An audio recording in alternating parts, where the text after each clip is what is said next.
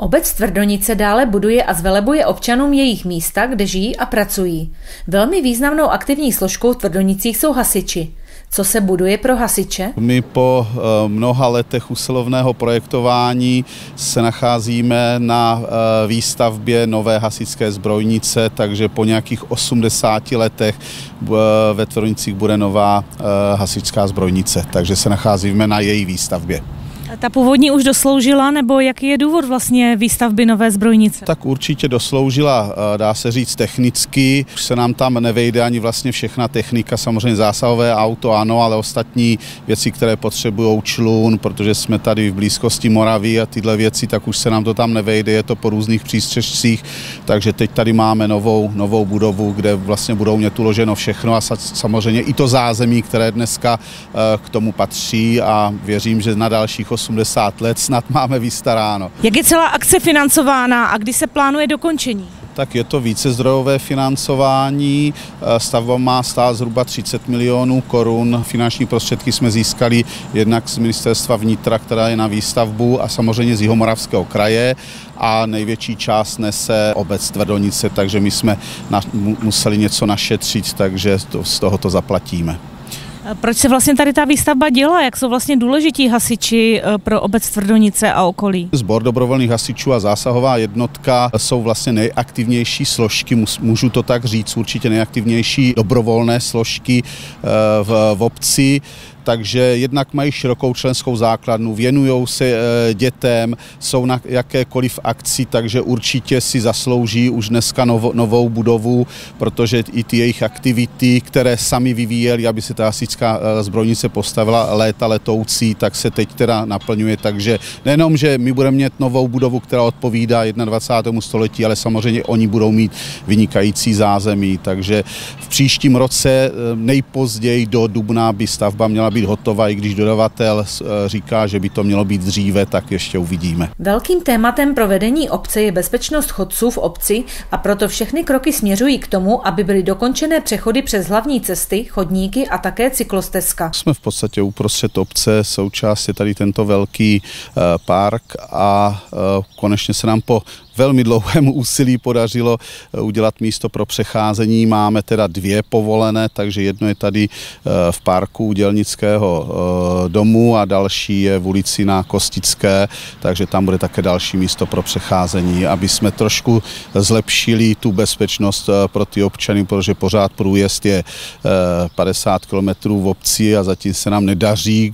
Žádali jsme o snížení rychlosti, ale bohužel zatím jsme teda neuspěli, takže aspoň tady Eh, se snažíme pro tu bezpečnost občanů a, a dětí udělat aspoň tady ty místa pro ty přecházení. Jak jste vlastně zvolili ty místa pro přecházení? Vychází to i z požadavku. Měli jsme tady už, opravdu už delší dobu, než se nám to podařilo administrativně vyřídit, i ten požadavek právě na to, aby jsme tady ty místa pro ty přecházení udělali. Jak složitý je tady ten proces vlastně vybudování přechodu? Není to úplně tak jednoduché? Musí to procházet samozřejmě schvalováním policie eh, a potom na, do, eh, na dopravním oddělení, takže není to jenom tak, že si řekneme, uděláme místo pro přecházení nebo přechod a, a do měsíce to máme. Jako musí se nakreslit uh, technická situace, musí se to svotit, uh, vyměřit, takže není to opravdu jenom tak, že řekneme a do měsíce něco máme. Bohužel, tak, tak toto je.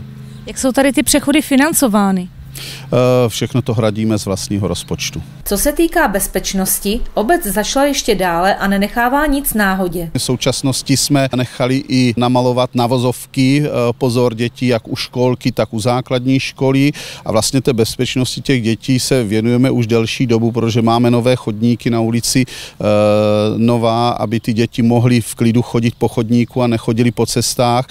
Instalovali jsme orientační radar rychlosti, takže snažíme se tu dopravu trošku sklidnit. Děláme eh, projekt eh, cyklostezky směrem na Kostice, který povede od konce obce přes školu.